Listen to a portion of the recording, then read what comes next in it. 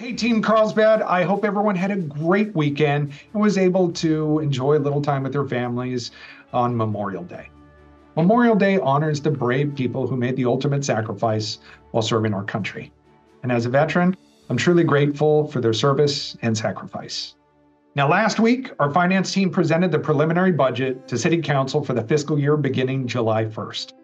Thank you to everyone who worked on the budget, which focuses on eliminating our structural deficit. I'm happy to report that through cost savings and you finding efficiencies, we've done that within the five year forecast. And while we have had some staffing reductions, and I acknowledge this puts a strain on your teams, I don't anticipate additional ones.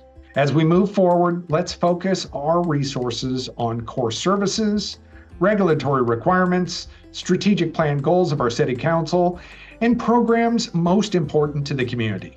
In the end, our city is in a really good place, and we have a very dedicated and talented team. I'm so proud of what we've been able to accomplish together. Now, on to the kudos. First, a shout out to Kids Camp Recreation Supervisor Eric Sapp.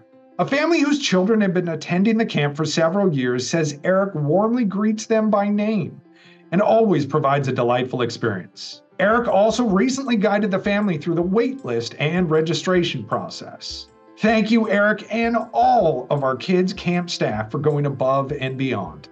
Now, I also wanted to recognize the team from Public Works that responded quickly after a local business reported a leaking hydrant valve. The community member contacted the city to say that the crew was respectful, informative, and courteous. Well done. And of course, speaking of Public Works, with Public Works Week wrapped up, I wanted to take one more time to thank each team for your dedication to the community and exemplifying being brilliant at the basics. If you didn't get a chance to see the videos, you can find them posted on our city's social media. Now, May is Mental Health Awareness Month. So, this Wednesday will be a virtual event called Ripples and Waves Turning the Tide on Mental Health. You can find all the details on Carlsbad Learn. Well, that's it for me this week. Now, I want to close uh, in typical fashion by reminding you to be kind to one another, but also staying safe. But I also want to just continue to reinforce please be kind to yourselves. Um, you accrue annual leave, so please take the time. We don't want anyone getting burnt out. And, you know, as summer is quickly approaching, the kids are starting to get out of school.